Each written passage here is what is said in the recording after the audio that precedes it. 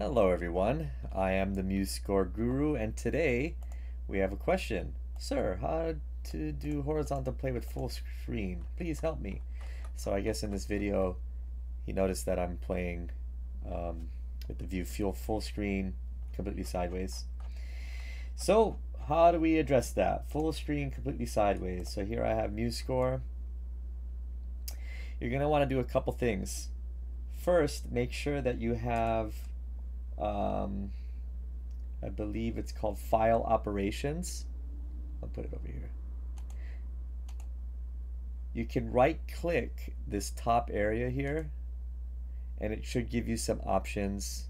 You want to make sure that file operations is checked. Okay, so anywhere on this top bar, right click, make sure file operations are available. It's going to give you this box between zooming percentage of zoom as well as what you're going to want is continuous view. So you're switching over to continuous view.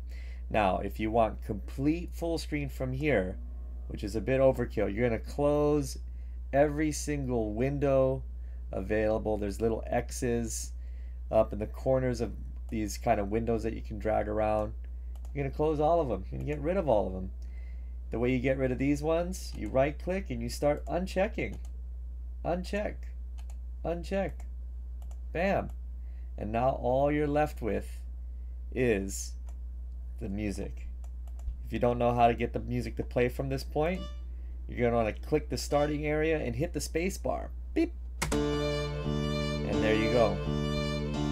So this is my quick uh, little way of how to explain to this request how to do horizontal play with full screen. So that's going to be the video, how to do horizontal play with full screen. Again, if you guys have any questions about how to use MuseScore 3, leave them in the comments. I'll eventually um, see it and I'll respond. So hope this finds you well. Aloha.